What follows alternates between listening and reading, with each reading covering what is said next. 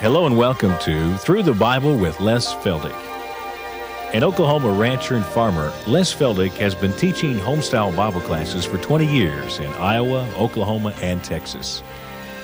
Les Feldick's unique style of Bible teaching has made the books of the Bible come to life. When Les is teaching, it's so interesting that people say time just seems to fly by. And now, here is Les Feldick. Good afternoon or good evening, whatever the case may be, and we're just glad to have you in the class. And again, for our television audience, we keep hearing from people who have just watched the program for the first time. And for those of you who have missed everything since Genesis 1 1, we want you to know that all these programs are available on VCR. We have put 12 programs on one six hour tape in which we can sell for $20.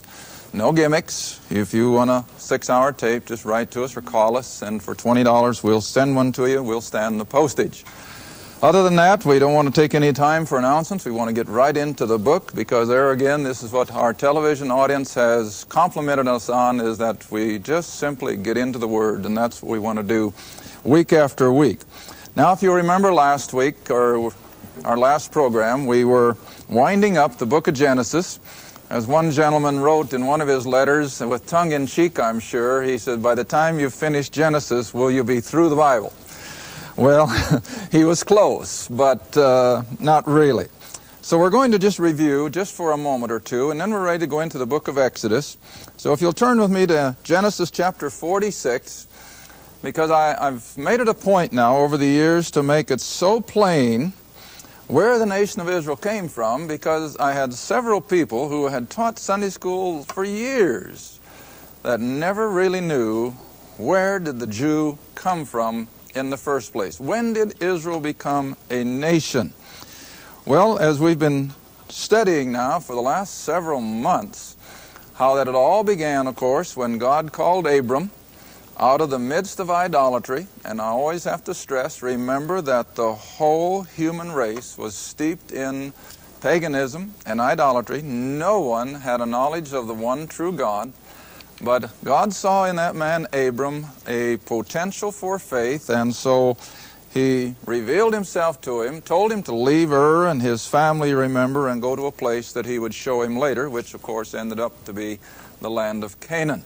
Then you remember from Abram we had the covenant, and that was passed on to Isaac.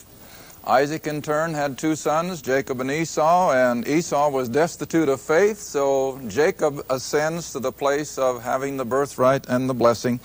And then it's through Jacob that the seed would come, that is the Messiah of Israel, the seed of the woman of Genesis 3:15. And then you remember Jacob went back up to his kinfolk in Syria married a couple gals up there, and then with a couple uh, women servants, he has 12 sons.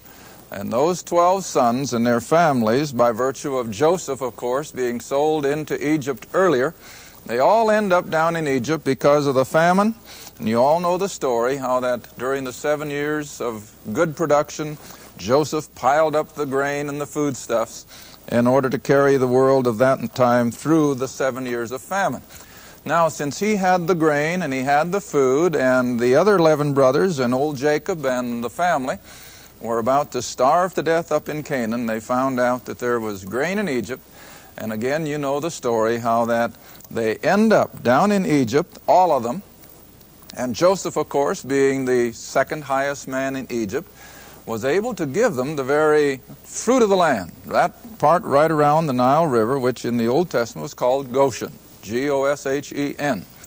And so in the area of Goshen, those 12 sons, or the 11, plus Joseph, who was, of course, in, in the high government place, but those 12 sons are then the setting for the population explosion that we will see then when we come into the book of Exodus. But you'll remember that all through the sojourning, from the time that God called Abram and told him that he would have a nation of people coming out of his loins and from his own wife, even though she was now well past childbearing time.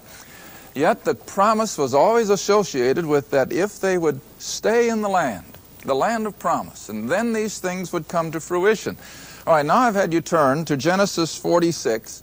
But you see, under the circumstances and in God's sovereign plan, of course, again, of bringing all this to pass, he finally tells Jacob, in no uncertain terms, to go on down into Egypt. Now, that's in chapter 46, verse 3, where God said, that is in Genesis, we're going to just review this a little bit and then we'll go into Exodus, where God said, I am God, the God of thy father, fear not to go down into Egypt, for I will there, in Egypt, make of thee a what? A great nation. Now lock that into your computer. It's down in Egypt in those next 215 years, which are part of the 430 that God said to Abraham would transpire from the time that he first called Abraham until Israel goes out of the wilderness experience into the land of Egypt, or when the tabernacle is raised up, is probably the way I should best put it, when they're ready to go to the promised land, and of course, then they're going to reject it and go 40 years in the wilderness. But you see, God's timetable is so exact that when He told Abram that it would be 430 years, that's exactly what it was. From the time that Abram had Isaac, I think is what, it, what year it really amounts to, until the tabernacle is raised up there at Mount Sinai and they're ready to go up into the promised land, was exactly 430 years. So it's in that time period, 215 years from Abram until here, when Jacob goes down into Egypt with all of his offspring, another 215 years while they'll be in Egypt under slavery, that fills the 430 years. All right, now then, just one other little comment out of the book of Genesis, and that is in the very last chapter, chapter 50. And let's just look quickly at verses 22 through 26, because again, the Word of God is so accurate. And as I told, I think, my class last night, oh, I want people to get to the place where you can believe every word of this book, even though there's things that we can't quite put together and we can't quite understand, and uh, it may almost seem illogical at times. Believe it. Believe it. It's the Word of God, and God does not lie. He does not make mistakes. Now, of course, we always have to remember that our Bibles are translations. Our Bibles may contain a little error here and there because they're translations. But when we say that the Word of God is without error, that it's perfect, we're talking about the originals. And uh, on the other hand, I've always maintained that God has been so jealous of His Word that He has not permitted gross error to come in. Now, there may be a word or two here and there, and, and maybe a number that could very easily have have lost its original through the process of translating, but you can believe it.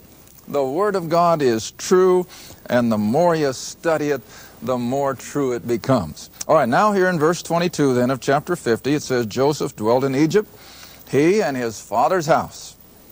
And Joseph lived 110 years. He saw Ephraim's children of the third generation. I remember Ephraim was one of Joseph's sons.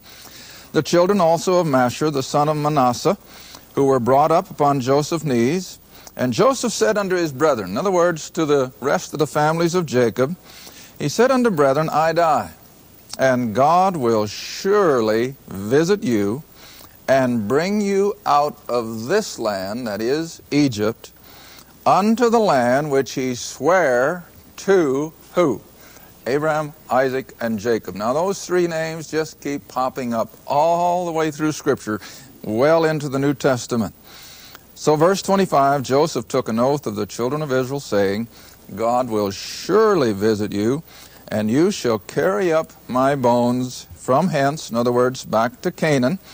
And so Joseph died, being 110 years old, and they embalmed him, and he was put in a coffin in Egypt. And so ends the book of Genesis, this book of beginnings, this book that starts with In the beginning, God created but it ends with, of all things, a coffin, death. But always remember, and this is not original with me, but I've read it from several different authors, so who originally said it, I don't know, do not know. But always remember this God buries his servants, but never his program. He'll bury his servants. In other words, great men of God come and they go, but God's program just keeps moving on. All right, now you're at the book of Exodus. Israel has now been in the land over 200 years, and they're multiplying. And God is about ready to fulfill these promises that He had made to Abraham, Isaac, and Jacob. He's going to now take them into the land that He had delineated in that Abrahamic covenant. But let's start in chapter 1, verse 1. This is, of course, a book of redemption. I think I mentioned that last week. It's a matter of buying back or paying the price for something that he had once owned, but he had lost. And I think I made reference to it, and if not, we'll do it now. You see, this is the whole idea of man's redemption itself. That which God had in complete control, Adam and Eve in the garden, he fellowshipped with them. They fellowshipped with him. Everything was perfect. But what happened? Sin entered. And sin separated Adam and Eve from God and, of course, out of the garden. And so immediately, what did God have to institute? A plan of redemption to be able to buy back, pay the price for that which he had lost control of. Now, it's the same way here with Israel when the brothers sold Joseph into slavery, and Joseph ends up down in Egypt, it was the sin of the brethren that precipitates, that gets the old ball rolling, that God lost control of his covenant people. They're now down in Egypt, and they're under the influence of all the idolatry of the Egyptians. And he's going to have to redeem them. He's going to have to pay the price to bring them back unto himself. All right, verse 1. Now these are the names of the children of Israel which came into Egypt. Every man and his household came with Egypt. And of course, the sons are all mentioned here. But now drop down quickly then to verse 7. And the children of Israel were fruitful, and they increased abundantly and multiplied. Now, that word multiplied in the Hebrew almost speaks of, of swarming. In other words, like, like we can just about see insects just increase in tremendous amounts, or, or even uh, little fish, how, how, they can just swarm from, from where those eggs were laid. Well, th this is what's intimated here in the Hebrew. Th this wasn't just a, a, casual increasing. They were exploding. You know, the population people like to talk about the world's exploding population. Well, they were. Their population was just exploding. And you could about imagine that the land was filled with them. And now there arose up a new king over Egypt. Now, again, you have to have a little knowledge of ancient history. You know, things weren't very stable back then any more than they are now. And, and uh, an empire could rise and a line of kings could come on the scene, but it wasn't very long until someone would come in, probably in this instance from Egypt. They'd come in from over the desert to the east, and or maybe down from Syria, and they would overrule the uh, the pharaohs as they were then ruling, and they would set up a whole new line of kings. And I think from ancient history, this is what we can pick up that the line of pharaohs that had been on the throne from the time of Joseph coming on the scene, and while uh, Jacob brought his children down into Goshen, they, they were friendly with the Israelites and got along fine. But along comes a new line of pharaohs who didn't know Joseph and had nothing to do with these uh, agreements that the pharaohs of old had made with uh, Joseph and his offspring. And so here we have a new pharaoh who knew not Joseph. And he said unto his people, Behold, the people of the children of Israel are more and mightier than we. Now, now when you read things like this, you've, you've just got to stop and ask yourself, now what would it be like? Here you are natives of this land, and all of a sudden you've got people coming in from outside your borders who are not part of your stock whatsoever. And they're beginning to multiply so fast that they're outnumbering you. Well, how would, how would we begin to feel as Americans? Why, we begin to feel a little defensive too, wouldn't we? And we begin to say, now, wait a minute. These people are outnumbering us and won't be long. They're just going to knock us off the scene and, and they'll take over and, uh, and we won't have anything. Well, that's exactly what was happening here. And so the pharaohs and the Egyptian people were getting worried lest these Israelites, with their increasing numbers, would be able to overtake them. And again, remember, in the antiquities, it didn't take much to knock one king off the throne and set up another one. Now, when it says that they are more and mightier than we, verse 10, come on and let us deal wisely with them, lest they multiply and it come to pass that when there falleth out a war, they join also to our enemies and fight against us. So get them up out of the land. How many people do you suppose Pharaoh and his, his cabinet were looking at? Well, I want you to forget the few thousand that Cecil B. DeMille put together for his movie, The Ten Commandments. It's millions. Millions. And if you doubt me on that, let's look at uh, Genesis, Exodus, Leviticus, Numbers. Numbers chapter 22. Numbers 22. Now, by this time, of course, they have ended their 40 years of wilderness wanderings, and uh, Moses is leading them around to the southeast of Canaan through the land which was called Moab, so that they could come in from the east side of the Jordan River over there opposite the Dead Sea. But as they come across the land of Moab, the king of Moab gets just as shook up as the pharaohs were and so you know the story of how he will send for the false prophet Balaam. Well, now we'll be looking at this someday when we get to the book of Numbers, but I just want you to see where I get this figure of three to seven million people that will leave Israel on the night of that Passover. In chapter 22, verse 4, And Moab said unto the elders of Midian, Now shall this company, that is of Israelites, lick up all that are round about us, as the ox licketh up the grass of the field. Verse 5.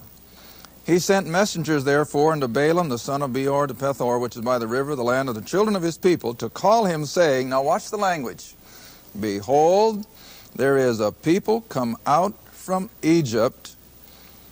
They cover the face of the earth. Now, of course, that's a play on words, no doubt. But nevertheless, in, in later verses, when, when the king of Moab takes Balaam up into a high mountain, and he says, Now look. And he says, You can't see the end of them. They went beyond the horizon, even from a high place. Now, that's not a few thousand, that was several million. Now, I looked up again on my uh, 1990 census, so I'm sure I won't be way out in left field on my figures.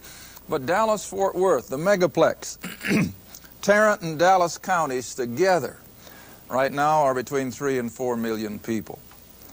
So when we get ready to deal with the children of Israel coming out of Egypt, I want you to picture something like Dallas Fort Worth moving out. I mean, it's mind boggling. And yet, I believe every word of it. I have no doubt that that's exactly how it happened. All right, now I'm still haven't told you. I think maybe it's in chapter 26 of Numbers in chapter 26, drop all the way down to verse 51. And then, when you got a little time, sit down with your computer or calculator and just do some calculations using your own logic and see what you come up with. Verse 51 These were the numbered of the children of Israel, 600,730. But I think it says earlier in the chapter that these, yeah, go back to verse 2 now of chapter 26. That isn't the total. 600,000 weren't the, the total number of Israelites, but it was only that select few, and here it comes now in verse 2 take the sum of all the congregation of the children of Israel from 20 years old and upward, all that are able to go to war in Israel. Now, in Israel, the age considered fit for military service was from 20 to 30. Now, all you have to do is, like I said, take your computer and you just sit down. How many other family members would be involved to bring about one young man, unmarried, between the age of 20 and 26? And I'll tell you what, your numbers just start piling up. And so, in order to get 600,000 young men of military capability, single, they wouldn't take married men, single, you have to have a minimum of 3 million people total when you're taking in parents and grandparents and sisters and other brothers and the whole bit. But like I say, I'm just doing that so that you'll know where I, I come up with this number of from 3 to 3.5 or even more. I've even said at times up to 7 million because there was a mixed multitude that went out with them as well, which was probably a lot of the Egyptians and various other groups that were hanging on at that time. All right, now if you'll come back quickly to Exodus chapter 1 again, verse 11. So now, in order to, to slow down this population explosion amongst the Israelites, the Egyptians, therefore, did set over them taskmasters to afflict them with their burdens. And as part of their slavery, then, they built for Pharaoh treasure cities, Pithom and Ramesses. But the more they were afflicted, the more they multiplied and they were grieved because of the children of Israel.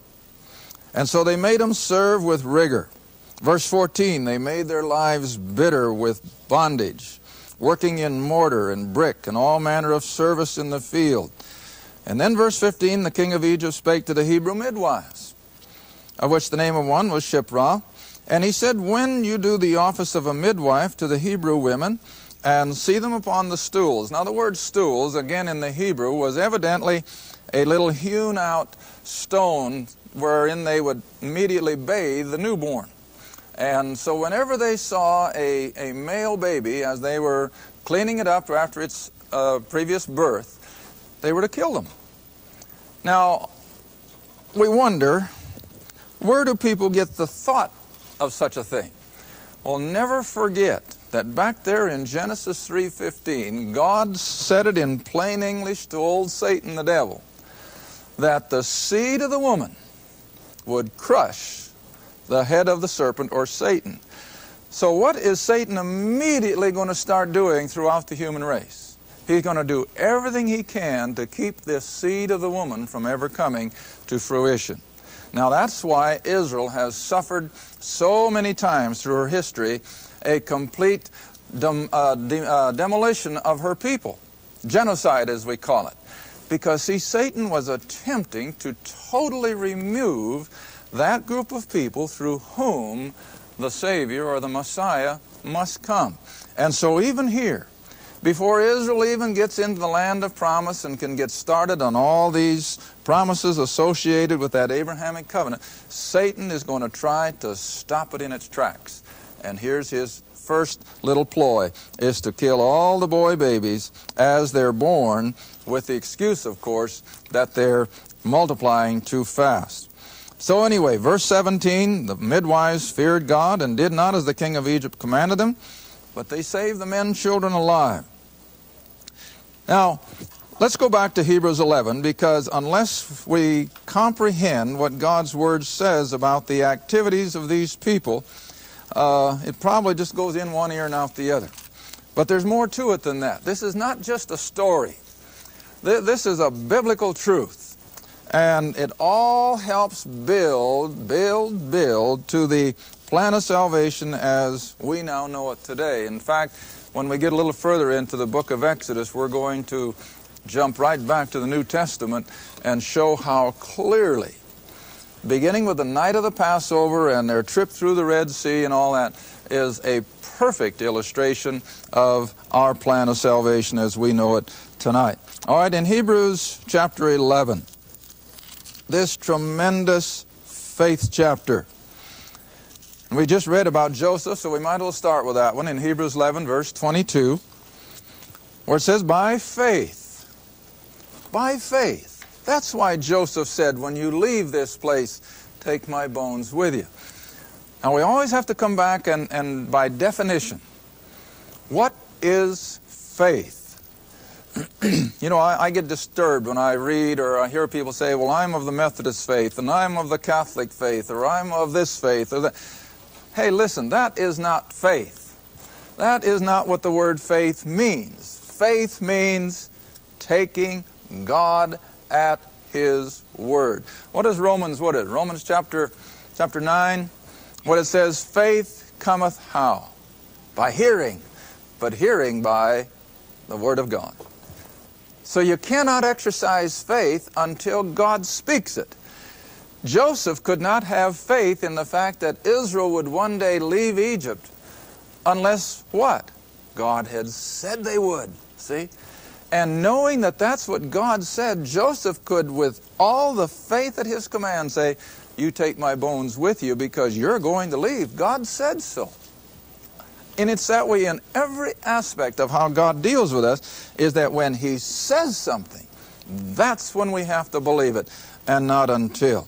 All right, then verse uh, 23, we'll just jump to it. We'll be coming back to it in, in Exodus in a moment. So it was by faith that when Moses was born, he was hid three months rather than having put him to death as the Egyptians had commanded. And so it was by the faith of Moses' parents that he was hid because they saw, not through the physical eyes so much, but through the what? The spiritual eyes. And they knew that what God had promised, what God had said, God would fulfill. And through those eyes of faith, they saw in this little infant the working of God. And so they took their chances. And never forget, nothing happens by accident. This is all sovereignly unfolding as God has commanded it. All right, now then, if you'll come back for just a uh, closing moment, back to Exodus once again, and we'll finish chapter 1 at least. And so when the authorities find out that the midwives are not killing all the boy babies as they were supposed to, they come in at verse 18 and they say, Why have you done this thing and have saved the men, children alive? And the midwives said unto Pharaoh, Because the Hebrew women are not as the Egyptian women. They are lively, they're strong. You want to remember, God has had his thumb on them. And ere they are delivered, uh, they're delivered before the midwives even get there. Then verse 20, Therefore God dealt well with the midwives, and the people multiplied and waxed very mighty. And it came to pass, because the midwives feared God, that he made them houses, and Pharaoh charged all the people, saying, Every son that is born you shall cast into the river, that is, into the Nile, in order to destroy them, and every daughter you can keep alive. But oh, listen, God is watching over his people Israel. Even as he does today, no one is going to destroy the nation of Israel tonight because they are God's covenant people. Thank you for watching Through the Bible with Les Feldick, a weekly Bible study.